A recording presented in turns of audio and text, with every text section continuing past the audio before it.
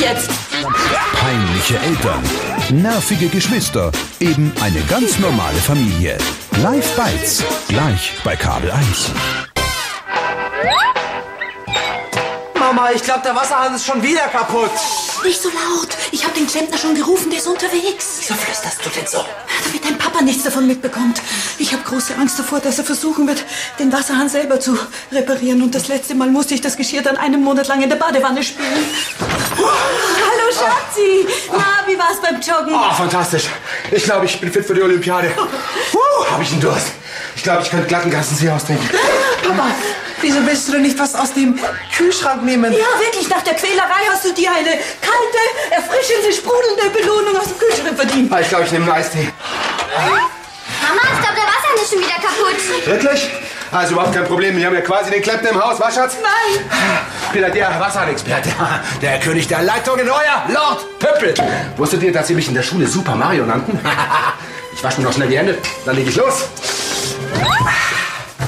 Hä? Wieso geht er jetzt nicht? Ich putz schon mal die Badewanne.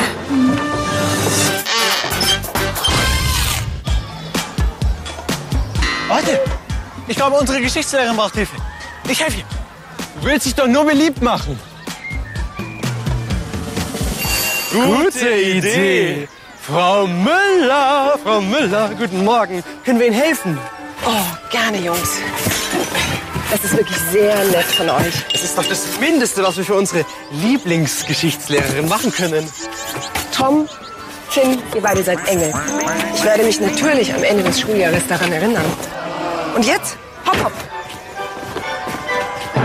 Leute, irgendjemand. Bei wem habe ich mich jetzt eigentlich beliebt gemacht? Ah, ah verstehe. Bei der Schwerkraft.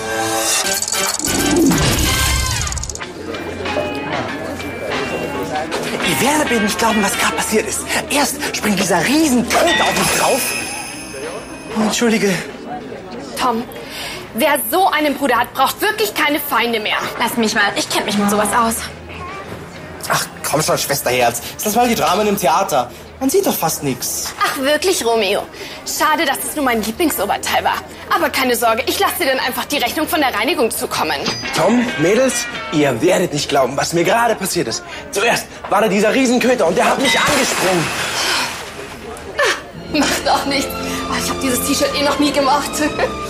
Tut mir leid, sorry. Durch die Flecken wird es doch erst einigermaßen modisch. Willst du noch mal? Aber, aber, Oh, guck doch mal, wie modisch.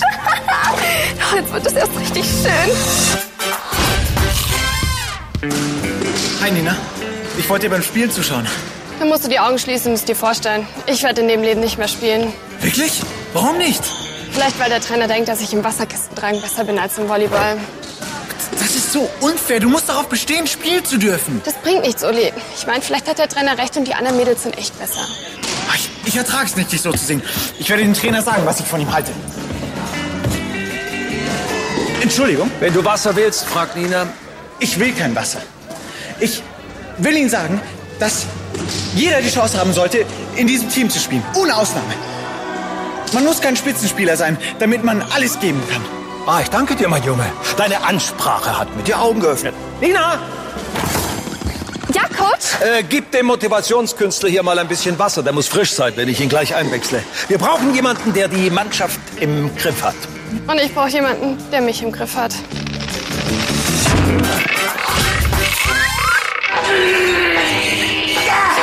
Voilà, dein Wasserhahn. So gut wie neu. Ein teurer Klempner hätte auch nichts anderes gemacht. Eugen, Sie haben den Klempner gerufen. Ja, nein, vielleicht. Ich meine, ja, da wusste ich noch nicht, dass du selbst die Zeit haben würdest, ihn zu reparieren. Naja, danke fürs Kommen, aber wir brauchen sie nur nicht mehr. Der Wasserhahn ist ja bereits repariert. Aber wenn ich schon mal da bin, kann ich das ja mal überprüfen. Das wird nicht nötig sein. Vor Ihnen steht nämlich der Wasserhahnexperte, der König der Leitungen, Lord Pümpel, höchst persönlich. Wenn Sie das sagen, das macht dann 50 Euro für die Anfahrt. Was? 50 Euro? Aber ich hab den Wasserhahn repariert. Sobald wir die Zentrale verlassen, sind wir verpflichtet, die Anfahrt in Rechnung zu stellen. Lord Pümpel. Ab heute bin ich der Handwerker in diesem Haushalt, ja? Boah, ich verdurste. Der Wasserhahn ist ja immer noch kaputt. Der ist überhaupt nicht kaputt. Zumindest war er es nicht, bevor du gekommen bist. So, den darfst du jetzt reparieren. Lord Tümpel hat nämlich Feierabend.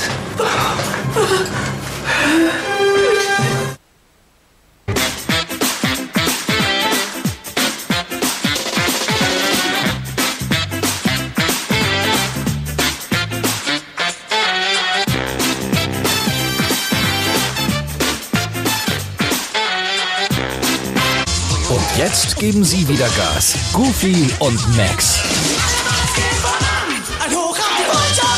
Gleich bei Kabel 1.